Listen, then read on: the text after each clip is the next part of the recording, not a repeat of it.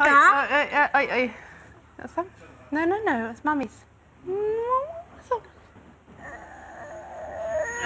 stop. Mummy's out. Wants to take my ice out of my drink. To just take the ice out of the drink. And I'm just trying to cool the water down with it, so I don't want her to. I've got a raging headache and I'd want to. So hot. No, I'm going to go and have some. Do you want to come outside with me? Would you like to go and play outside? Uh. yes, you are. Come on. Come While the on. Larkin Smiths did you look say? after Connor and um. Natisha, Tanya is having a consultation with check Kim. on all of that. I suppose the first thing I want to say is that it's Thursday and we're coming up to our last day in the mm-hmm. house. How do you feel about that? Fine, because I know like I can cope with it now, so I know I can do it. Something's changed inside you. I think because like when she's had her tantrums, I've dealt with them and they've just stopped. So now I, you know, I've done that by myself. I don't need anybody to stand there and say, like, you know, uh, this, that, and other. So yeah, I know that when we go home, it's still going to be the same. I think you're quite sad to be leaving this house and you're going to find it hard to say goodbye. Because there's all been this support. And that's what I don't. Not that I ain't got support at home, but I don't think I ain't got the right support. I lost my best friend.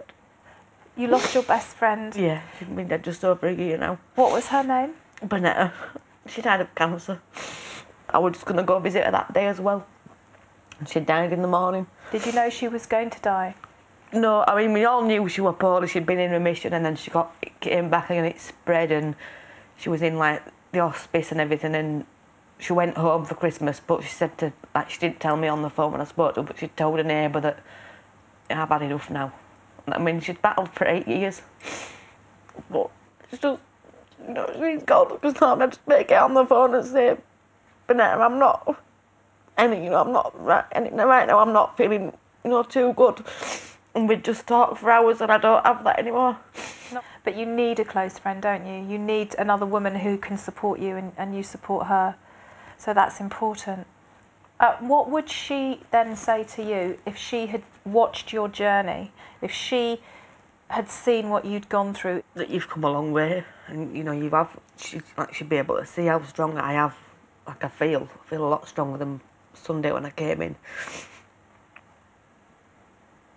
for the first time in a long time I'm proud of myself because like I say Sunday I was just like I can't do this I got in here and I just froze I thought what am I doing and it's taken you know to do something like this for me to realise that it's not Letitia you know, and it is me, and that I've had to deal with that, and that's hurt me a lot. You know, through the week, I'm like, I can't believe how, you know, bad I've been doing, really. Um, but like looking back now, I'm like, I'm really glad we've done it. So you've built a friendship with your Yeah. daughter. Yeah. So you've got lots of happy times together with her as friends. Isn't that great? And it makes you feel